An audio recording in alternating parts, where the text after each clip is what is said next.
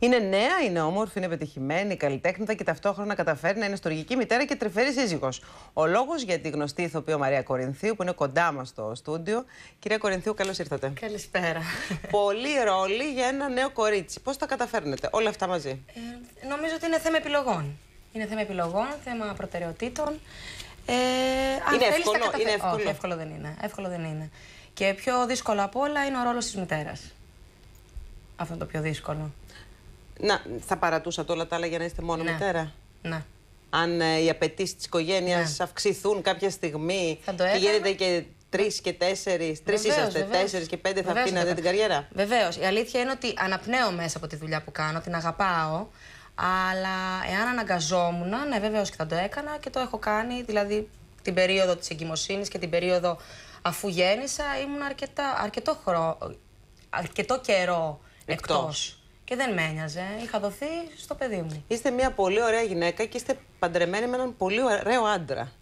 Από, με τη ζήλια, το θέμα της ζήλιας στην οικογένεια πώς ε, πάει, πώς παίζει; Το ελέγχετε ή ξεφεύγει; Εντάξει, είμαστε δύο άνθρωποι που δεν είμαστε υπερβολικά καιρό μαζί, οπότε πάντα υπάρχει το ενδιαφέρον και υπάρχουν και κάποιες στιγμές ζήλιας. Ε, ο, βέβαια ο καθένας το παρερμηνεύει και μπορεί να το ερμηνεύσει και διαφορετικά, αλλά είμαι ερωτευμένη με τον Ποιος άντρα ζηλεύει μου. πιο πολύ; Νομίζω και οι δύο. Απλά ο Γιάννης δεν θέλει να το δείχνει.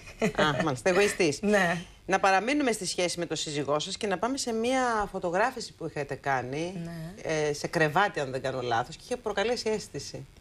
ναι, δεν καταλαβαίνω γιατί. δεν- Και δεχτήκατε και πολλές επιθέσεις για αυτή τη φωτογράφηση. Και πάλι δεν καταλαβαίνω. Ναι, εντάξει. Εδώ ΟΚ. βλέπουμε τη φωτογράφηση με τον σύζυγό σας. Τι το τρομερό και το φοβερό, γιατί δεν έχω καταλάβει ακριβώς.